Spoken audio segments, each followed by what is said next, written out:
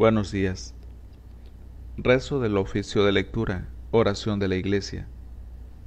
Esta oración puede hacerse a cualquier hora del día, correspondiente al sábado 3 de julio de 2021. En este día la iglesia celebra la fiesta de Santo Tomás Apóstol. Tomaremos el himno, antífonas y salmodia, versículo, primera lectura con su responsorio, del Común de Apóstoles, páginas 1652 a la 1657. La segunda lectura con su responsorio y oración de la fiesta, páginas 1523 a la 1525. Al final el himno Señor Dios eterno, Te Deum. Tercer tomo de la liturgia de las horas. Señor, abre mis labios, y mi boca proclamará tu alabanza. Antífona. Venid, adoremos al Señor, Rey de los apóstoles. Salmo 94. Venid, aclamemos al Señor, demos vítores a la roca que nos salva Entremos a su presencia dándole gracias, aclamándolo con cantos, porque el Señor es un Dios grande, soberano de todos los dioses. Tiene en su mano las cimas de la tierra, son suyas las cumbres de los montes, suyo es el mar porque Él lo hizo, la tierra firme que modelaron sus manos. Venid, postrémonos por tierra, bendiciendo al Señor, Creador nuestro porque Él es nuestro Dios, y nosotros su pueblo, el rebaño que Él guía. Ojalá escuchéis hoy su voz, no endurezcáis el corazón como en Meribá, como el día de Masá en el desierto, cuando vuestros padres me pusieron a prueba y dudaron de mí aunque habían visto mis obras. Durante cuarenta años aquella generación me repugnó y dije, es un pueblo de corazón extraviado, que no reconoce mi camino. Por eso he jurado en mi cólera que no entrarán en mi descanso. Gloria al Padre y al Hijo y al Espíritu Santo, como era en el principio, ahora y siempre, por los siglos de los siglos. Amén. Venid, adoremos al Señor. Rey de los Apóstoles. Himno. Mensajeros de Dios, dadnos la nueva. Mensajeros de paz, sea paz nuestra. Mensajeros de luz, sea luz nuestra. Mensajeros de fe, sea fe nuestra. Mensajeros del Rey, sea Rey nuestro. Mensajeros de amor, sea amor nuestro. Amén. Salmodia. Antífona. A toda la tierra alcanza su pregón, y hasta los límites del orbe su lenguaje. Salmo 18a. El cielo proclama la gloria de Dios, el firmamento pregona la obra de sus manos.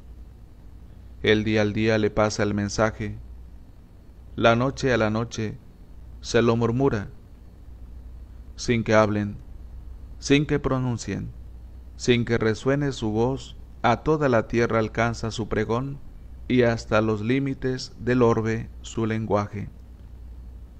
Allí le ha puesto su tienda al sol, él sale como el esposo de su alcoba, contento como un héroe, a recorrer su camino asoma por un extremo del cielo y su órbita llega al otro extremo. Nada se libra de su calor. Gloria al Padre, y al Hijo y al Espíritu Santo, como era en el principio, ahora y siempre, por los siglos de los siglos. Amén. A toda la tierra alcanza su pregón, y hasta los límites del orbe su lenguaje. Antífona. Proclamaron la obra de Dios, y meditaron sus acciones. Salmo 63 Escucha, oh Dios, la voz de mi lamento, protege mi vida del terrible enemigo, escóndeme de la conjura de los perversos y del motín de los malhechores. Afilan sus lenguas como espadas, disparan como flechas, palabras venenosas, para herir escondidas al inocente, para herirlo por sorpresa y sin riesgo. Se animan al delito, calculan cómo esconder trampas y dicen, ¿quién lo descubrirá? Inventan maldades y ocultan sus invenciones, porque su mente y su corazón no tienen fondo. Pero Dios los acribilla a flechazos, por sorpresa los cubre de heridas. Su misma lengua los lleva a la ruina, y los que lo ven menean la cabeza. Todo el mundo se atemoriza, proclama la obra de Dios y medita sus acciones. El justo se alegra con el Señor, se refugia en Él, y se felicitan los rectos de corazón. Gloria al Padre y al Hijo y al Espíritu Santo, como era en el principio, ahora y siempre, por los siglos de los siglos. Amén. Proclamaron la obra de Dios y meditaron sus acciones. Antífona. Pregonaron su justicia, y todos los pueblos contemplaron su gloria. Salmo 96. El Señor reina, la tierra goza, se alegran las islas innumerables. Tiniebla y nube lo rodean, justicia y derecho sostienen su trono. Delante de él avanza fuego, abrazando en torno a los enemigos. Sus relámpagos deslumbran el orbe, y viéndolos la tierra se estremece. Los montes se derriten como cera ante el dueño de toda la tierra. Los cielos pregonan su justicia, y todos los pueblos contemplan su gloria. Los que adoran estatuas se sonrojan, los que ponen su orgullo en los ídolos. Ante él se postran todos los dioses. Lo oye Sión y se alegra, se regocijan las ciudades de Judá por tus sentencias, Señor, porque tú eres, Señor, altísimo sobre toda la tierra, encumbrado sobre todos los dioses. El Señor ama al que aborrece el mal, protege la vida de sus fieles y los libra de los malvados. Amanece la luz para el justo y la alegría para los rectos de corazón. Alegraos justos con el Señor, celebrad su santo nombre. Gloria al Padre y al Hijo y al Espíritu Santo, como era en el principio, ahora y siempre, por los siglos de los siglos. Amén. Pregonaron su justicia, y todos los pueblos contemplaron su gloria. Responsorio. Contaron las alabanzas del Señor y su poder, y las maravillas que realizó. Primera lectura de la primera carta del apóstol San Pablo a los Corintios. Hermanos, que la gente solo vea en nosotros servidores de Cristo y administradores de los misterios de Dios. Ahora, en un administrador lo que se busca es que sea fiel. Por lo que a mí se refiere, me, importa muy poco ser juzgado por vosotros o por cualquier tribunal humano, ni siquiera yo mismo juzgo mi actuación. Cierto que mi conciencia nada me reprocha, mas no por eso me creo justificado. Mi juez será el Señor. No juzguéis antes de tiempo, dejad que venga el Señor, Él sacará a la luz lo que está oculto en las tinieblas y pondrá al descubierto las intenciones del corazón. Entonces vendrá a cada uno su alabanza de parte de Dios.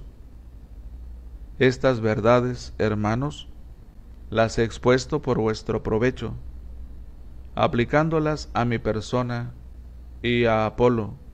Así, por esta aplicación, aprenderéis aquello de no más de lo que está escrito, a fin de que nadie se enorgullezca de un apóstol y desprecie a otro. Porque ¿quién es el que te distingue? ¿Qué tienes que no hayas recibido? Y si lo recibiste, ¿por qué te glorías como si no lo hubieras recibido? Ya estáis satisfechos. Os habéis hecho ya ricos habéis ganado un reino sin ayuda nuestra. Ya lo podíais haber ganado. Así tendríamos nosotros parte en vuestro reino. Por lo que veo, Dios nos ha asignado a los apóstoles el último lugar, como a condenados a muerte, porque hemos venido a ser el espectáculo del mundo, de los ángeles y de los hombres nosotros somos insensatos por Cristo, vosotros sensatos en Cristo. Nosotros débiles, vosotros fuertes, vosotros estimados, nosotros despreciados. Todavía ahora pasamos hambre, sed y desnudez. Somos maltratados y arrojados de una parte a otra, y nos fatigamos trabajando con nuestras manos. Cuando nos maldicen, bendecimos. Cuando nos persiguen, soportamos. Cuando nos injurian, respondemos con dulzura. Hemos venido a ser hasta ahora como basura del mundo, como el desecho de la humanidad. No os escribo esto para confundiros, sino para amonestaros como a hijos míos carísimos. Aunque tengáis en efecto diez mil maestros, que os lleven a Cristo. De hecho, solo tenéis un Padre. Yo os engendré para Cristo por la predicación del Evangelio. Os exhorto, pues, a que seáis mis imitadores como yo imito a Cristo. Responsorio. Ya no os llamaré siervos, os he llamado amigos, porque todo cuanto me ha comunicado el Padre, os lo he dado a conocer. A vosotros ha concedido Dios conocer los misterios del reino de los cielos. Dichosos vuestros ojos porque ven y vuestros oídos porque oyen. Porque todo cuanto me ha comunicado el Padre, os lo he dado a conocer. Segunda lectura de las homilías de San Gregorio Magno Papa sobre los Evangelios. Tomás, uno de los doce, llamado Dídimo, no estaba con ellos en el momento de presentarse Jesús.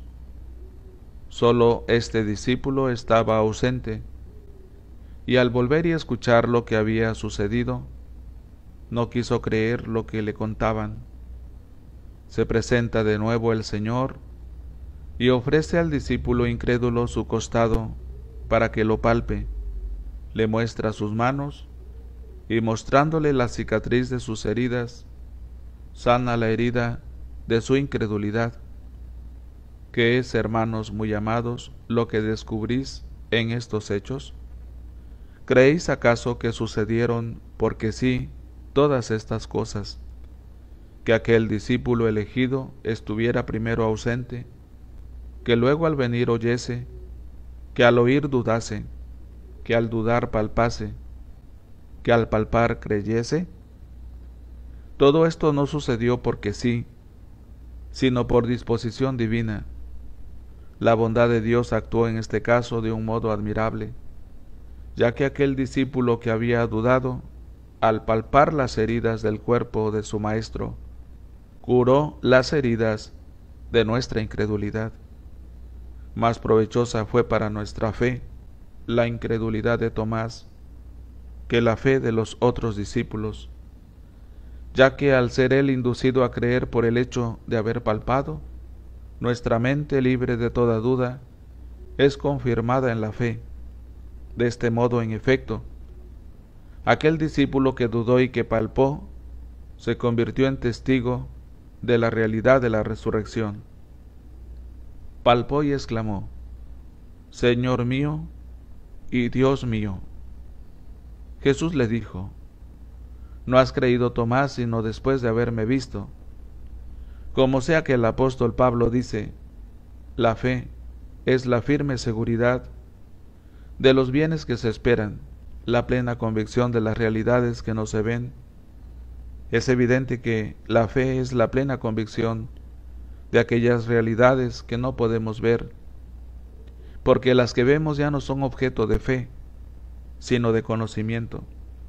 Por consiguiente, si Tomás vio y palpó, ¿cómo es que le dice el Señor, no has creído, sino después de haberme visto? Pero es que lo que creyó supera a lo que vio, en efecto. Un hombre mortal no puede ver la divinidad. Por esto lo que él vio fue la humanidad de Jesús, pero confesó su divinidad al decir, Señor mío y Dios mío. Él, pues, creyó con todo y que vio, ya que teniendo ante sus ojos a un hombre verdadero, lo proclamó Dios, cosa que escapaba a su mirada y es para nosotros motivo de alegría lo que sigue a continuación. Dichosos los que sin ver han creído. En esta sentencia el Señor nos designa especialmente a nosotros, que lo guardamos en nuestra mente sin haberlo visto, corporalmente. Nos designa a nosotros con tal de que las obras acompañen nuestra fe, porque el que cree de verdad es el que obra según su fe por el contrario, respecto de aquellos que creen solo de palabra, dice Pablo, van haciendo profesión de conocer a Dios y lo van negando con sus obras. Y Santiago dice, la fe, si no va acompañada de las obras, está muerta. Responsorio. La vida se ha manifestado y nosotros hemos visto y testificamos y os anunciamos esta vida eterna la que estaba con el Padre y se nos ha manifestado, lo que hemos visto con nuestros ojos, lo que tocaron nuestras manos acerca de la palabra de vida, lo que hemos visto y oído, os lo anunciamos, esta vida eterna la que estaba con el Padre y se nos ha manifestado. Himno, Señor Dios eterno. Señor Dios eterno, alegres te cantamos, a ti nuestra alabanza, a ti Padre del cielo te aclama la creación, postrados ante ti los ángeles te adoran y cantan sin cesar, Santo, Santo, Santo es el Señor Dios del universo, llenos están el cielo y la tierra de tu gloria, a ti, Señor, te alaba el coro celestial de los apóstoles. La multitud de los profetas te enaltece, y el ejército glorioso de los mártires te aclama. A ti la Iglesia Santa por todos los confines extendida, con júbilo te adora y canta tu grandeza.